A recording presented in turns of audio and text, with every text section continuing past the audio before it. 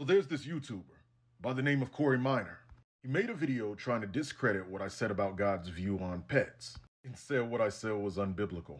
For God gave Adam a wife, God gave Adam pets. Saying it again doesn't make it right or any less stupid. So that's why he eventually created a wife. However, God still gave Adam pets in the first plan of action. So God's plan initially was to give him pets. God didn't think this through, huh? Okay. That's some of the video.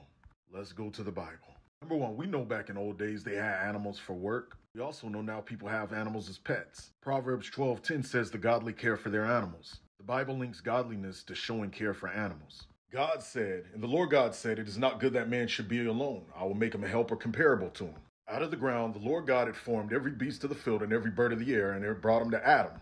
But for Adam, there was not found a helper comparable to him. The Hebrew word for helper is azer, and literally means helper. It could translate into ally, protect, supporting. Literally, the definition of a pet is this a domestic or tamed animal kept for companionship or pleasure.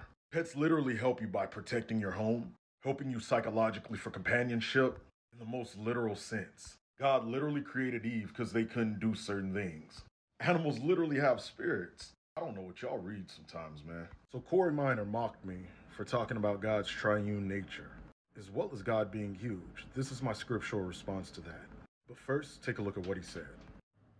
That one times one times one equals, and he's got three fingers up. When you go to the Bible, 1 John 5 7 says, For there are three that bear record in heaven the Father, the Word, and the Holy Ghost, and these three are one.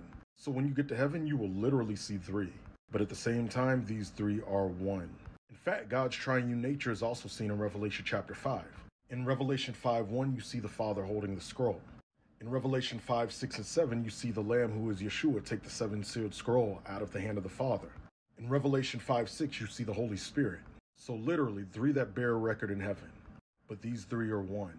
So, in order to portray this in a way that humans can understand, because a lot of people tend to think that God is one plus one plus one equals three gods, and that's not it.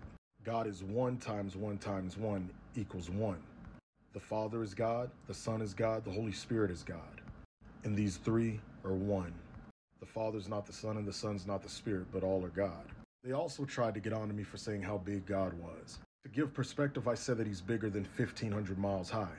The point of reference was the New Jerusalem. Some translations say 1500, some say 1400. Nevertheless, 1 Kings 8:27 says that God is so big that the highest heavens can't contain him. God's not a little blob. He's huge and he's God.